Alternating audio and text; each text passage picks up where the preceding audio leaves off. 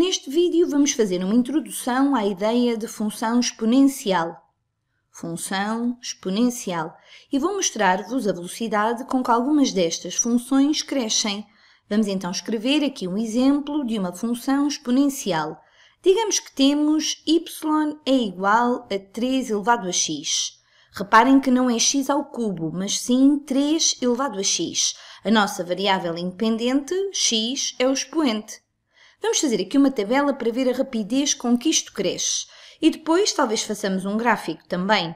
Então vamos pegar em alguns valores de x, comecemos por x igual a menos 4, depois passamos para menos 3, menos 2, 0, 1, 2, 3 e 4. Iremos calcular o valor de y para cada um destes valores de x. Aqui, y vai ser igual a 3 elevado ao expoente de menos 4, que é igual a 1 sobre 3 elevado a 4.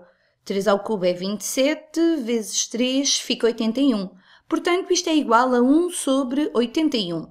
Quando x é igual a menos 3, y é 3 elevado a menos 3, isto é, 1 sobre 3 ao cubo, que é igual a 1 sobre 27. Então, passamos de um número positivo super pequeno para um número ligeiramente maior. Depois, 3 elevado a menos 2 vai ser 1 nono, 1 sobre 3 ao quadrado. Depois temos 3 elevado a zero, que é igual a 1.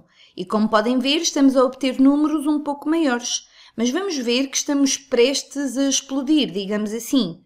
Agora temos 3 elevado a 1, que é igual a 3. E agora 3 ao quadrado, certo? Y igual a 3 ao quadrado, que é 9, 3 ao cubo é 27, 3 elevado a 4, 81, e se fôssemos considerar a potência 3 elevado a 5, seria 243. Vamos agora apresentar isto num gráfico, só para ficarmos com uma ideia do quanto é que isto cresce rapidamente. Vamos desenhar aqui os eixos, então este é o eixo dos x e este é o eixo dos y. Vamos fazer a escala com incrementos de 5, pois queremos ficar com uma ideia geral da forma do gráfico. Então, 5, 10, 15... Na verdade, desta forma não chega ao valor 81 e é fundamental que lá cheguemos, por isso vou recomeçar. E não será necessário estender o eixo dos y para valores negativos porque, como devem ter reparado, os valores de y são todos positivos. Isso acontece porque esta base é positiva e há outras condições associadas à função exponencial que vos quero transmitir, mas já lá irei. Agora quero desenhar o gráfico desta função aqui. Digamos que temos 10, 20, 30, 40, 50, 60, 70 e 80. Aqui é 80. Penso que assim com esta escala já dará para termos uma boa aproximação. Depois, digamos que aqui temos menos 1, menos 2, menos 3, menos 4 e aqui 1, 2, 3, 4. Quando x é igual a 0, y é igual a 1, certo? Quando x é igual a 0, y é igual a 1, é este ponto aqui. Quando x é igual a 1, y é igual a 3, será mais ou menos aqui. Quando x é igual a 2, y é igual a 9, que é algures por aqui. Quando x é igual a 3, y é igual a 27, que é mais ou menos aqui. Quando x é igual a 4, y é igual a 81. Então, rapidamente nos apercebemos que isto parece que vai explodir, como eu tinha dito há pouco. Se marcássemos o ponto que corresponde a x igual a 5, iríamos para y igual a 243, que nem sequer cabe neste ecrã. Quando vamos para x igual a menos 1, o valor de y fica mais pequeno. Por exemplo, em x igual a menos 2 estamos em 1 nono. Eventualmente nem sequer vamos conseguir representar estes valores lá muito bem, mas estamos a aproximar-nos cada vez mais de zero. Ao considerarmos valores de x negativos e cada vez menores, isto é, quando x tende para menos infinito, se pensarmos, por exemplo, em x igual a menos 1000 ou menos 1 milhão, y irá corresponder a 3 elevado a menos 1000 ou 3 elevado a menos 1 milhão, respectivamente, ou seja, os valores de y vão aproximar-se muitíssimo de zero, mas sem nunca lá chegarmos. Portanto, Quando x tende para menos infinito, aproximamos-nos cada vez mais do zero. E depois, à medida que os valores de x vão aumentando, lentamente afastamos-nos dele.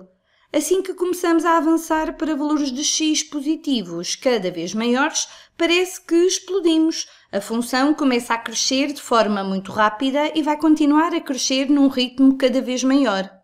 Bem, podemos sempre construir uma função de crescimento ainda mais rápido. Por exemplo, se tivermos y igual a x elevado a x. Esta função tem um crescimento ainda mais rápido.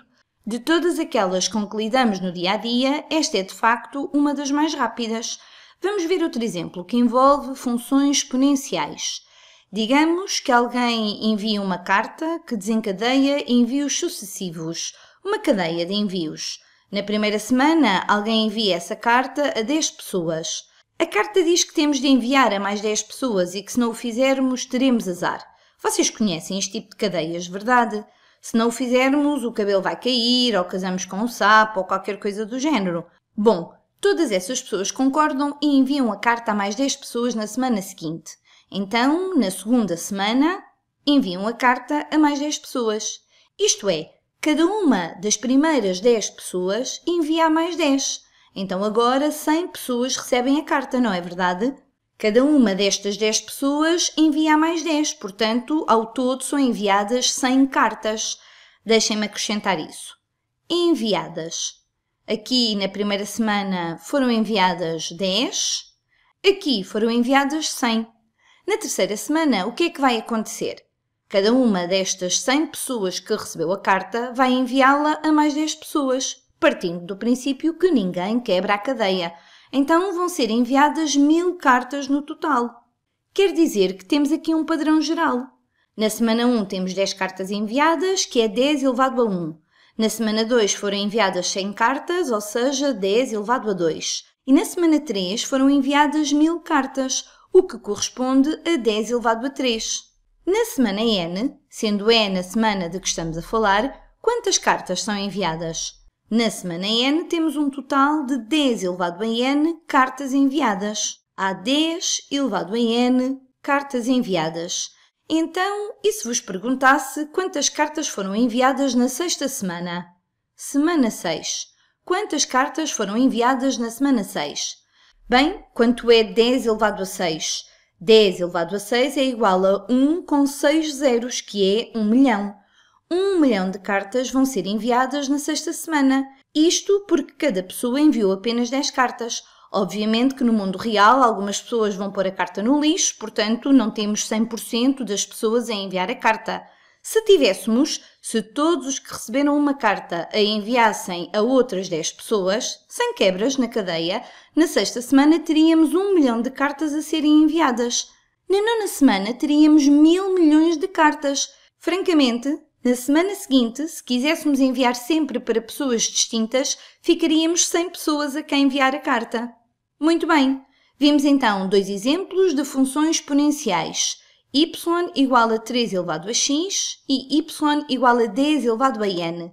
Em ambas, a variável independente surge como um expoente e a base é um valor positivo. De uma forma geral, todas as funções exponenciais podem ser escritas na forma y igual a a vezes r elevado a x, onde a pode ser um qualquer número real exceto zero, porque se fosse zero ficávamos apenas com y igual a zero, que é uma função constante, e r pode ser um qualquer número real positivo exceto 1. Aqui só nos vão interessar os números positivos, mas não vamos incluir o 1, porque será? Como é que ficamos se r for igual a 1? Reparem que se r for 1, ficamos com y igual a a vezes 1 elevado a x. E quanto é 1 elevado a x? Qualquer que seja o valor de x, isto é apenas 1, e por isso ficaríamos apenas com a função y igual a a.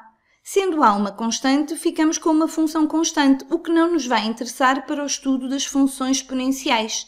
E já agora vamos também pensar porque é que r tem de ser um número real positivo. Vamos pensar em, imaginem que tínhamos y igual a menos 3 elevado a x. Ora, se substituirmos x por, por exemplo, 1 meio, ficamos com menos 3 elevado a 1 meio. Isto é igual à raiz quadrada de menos 3. E nós já sabemos que no conjunto dos números reais não existe a raiz quadrada de números negativos.